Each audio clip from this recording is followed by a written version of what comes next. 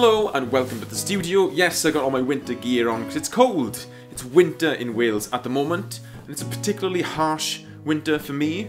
For one reason, my social media was hacked and my credit card completely ravaged four weeks before Christmas, which isn't the best start to my favourite time of year. But that's completely irrelevant for this YouTube channel. I almost want to start a new YouTube channel where I can just rant about things. Uh, to give my hot takes and stuff. We call it Scott takes. But then I feel like a thief. But anyway, let's get into tracking your practice.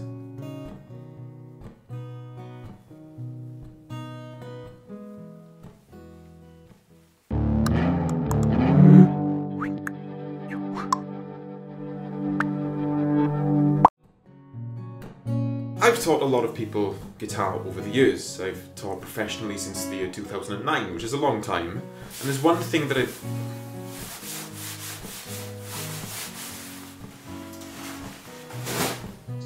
carry a bag. And there's one thing that I've learned, is that no one follows the same path. People retain information differently, people absorb information differently, people have different goals, different reasons why they want to play, and all of those require different systems to work for them and to get them to different goals. So everyone's practice routine is going to be different. Now the tips that I'm going to give you in this video is going to help you manage your time and practice routine a little bit more efficiently.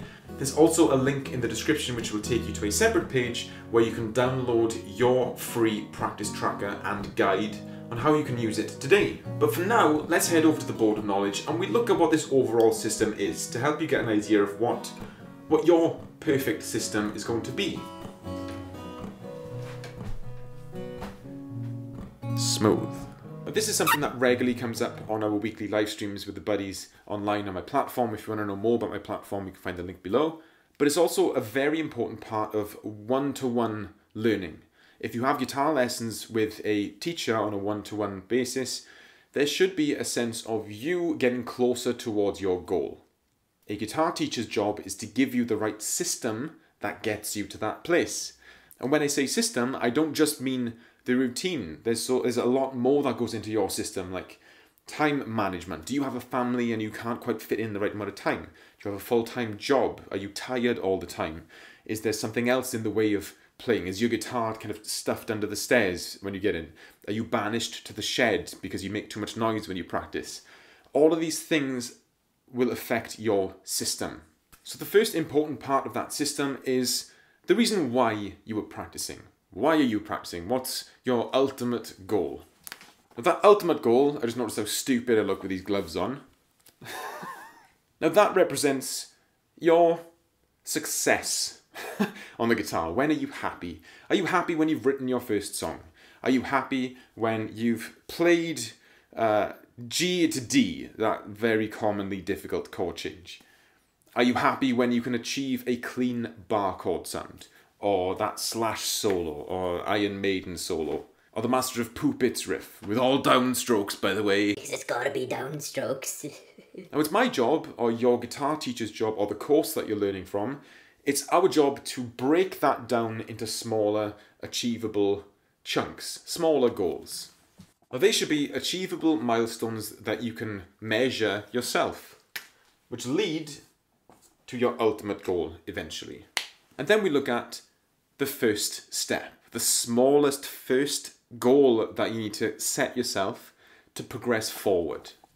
Now, most people, when you learn guitar, you never think about this you get an idea that you might want to try it, you might want a hobby, and some people don't even have an ultimate goal, they just play.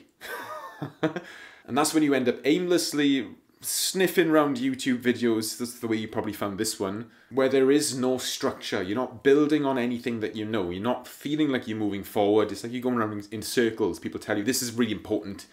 This guy tells you that that's not important. Don't listen to him. Listen to this. This is important. and the truth is, that's important to those people and their progress. Every guitar teacher that you find online is going to say something different because every guitar teacher online or anywhere else has been on a different path to get them where they are. That's why it's so important to find a guitar teacher that you can connect with, someone you can absorb information from, and someone who knows how to get this from your lifestyle. Now, with all that being said, you don't have to be aware of all this. There'll be people watching this thinking, I never thought of all this. I didn't. I didn't have a goal, and, and I'm amazing. I play in a band and everything, and I'm really good. and, and yeah, not everyone is aware of these principles when they learn guitar. It just helps me a lot. It's the way that I deal with all of my students and help them progress or help them feel like they're progressing. Sometimes you don't feel like you're moving forward, but you are. just because you're not right at the end yet, you're getting there. And uh, the most important part of getting there is the bits in between these steps. This and this those are the parts of the system. That's the system that we need to put in place. The unique uh, tools that you need to get to get you through those stages. Now, I just mentioned that lifestyle is an important part of building the system, and it is. That's what makes your system unique to you.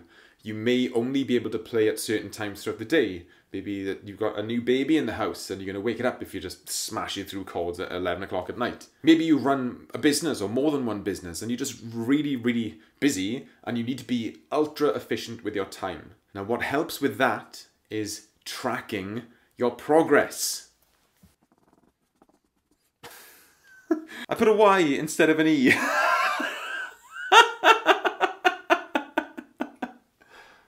It's not that funny, I know, but I think that's the first sign of my descent into madness. Now, not everybody is comfortable tracking their progress. Some people just like to pick up the guitar here and there and just play whatever they want, which is fine, and you will see some progress with that, but at some point you'll feel like stuck. and it's nice to have some like a pat on the back, some positive reinforcement that you are moving forward, that you you are playing uh, something that you struggled with last week a little bit more comfortably this week or you can play a certain exercise faster than yesterday. Now, the only way to track that kind of progress is with a metronome. You measure the speed that you can play comfortably or cleanly at whatever it is, whether it's strumming in time, changing chords, playing through a particular song, or finger exercises, developing specific techniques. But for those of you that do struggle with time, maybe actually picking up the guitar is a win for you. then you don't have to track specific time. Sometimes a progression would be just picking it up for five minutes. You just track that. Tomorrow, can you do six minutes? Can you do seven minutes the next day? Can you do two blocks of five minutes throughout the whole day? And you build like that. You, you progress forward like that. For some people, it's a massive win if you just put a little tick in the box that you've warmed up today. You've done the spider exercise once. You've gone through your difficult chord change once. Tomorrow, you can put two ticks in each box so that you've, you know that you've done it twice eventually you'll progress to the point where you've got a lot more detailed progress markers. You know, then you can measure the tempo that you can play certain things. But to start with, like I said, it's a big win just to pick up your guitar for a lot of people. Now, for most normal people learning guitar, what is what is normal these days? these principles are not something that you regularly think about. Guitar teachers should think about them, but I know some guitar teachers that don't. but if you understand your goals, you can put the right system in place using the free practice tracker that I'm giving you in the link below. And that is part of a beginner's bundle that I've put together. I've worked over a year on this bundle of material that has previously been exclusively for my online buddies. It's come from the feedback that I get from the people that regularly move through my courses, and this time I'm working on the beginner course. The bundle includes 20 weeks of course material, one to one sessions with me to give you some accountability and to help put these systems in place. It's a very personal thing, and no two people have the same routine. And I've also included some of the best time and practice management and goal setting tools. So if you want me to go through this process with you and give you your perfect system that will get you to your goals, click the link below. I really, really want to help you develop your skills.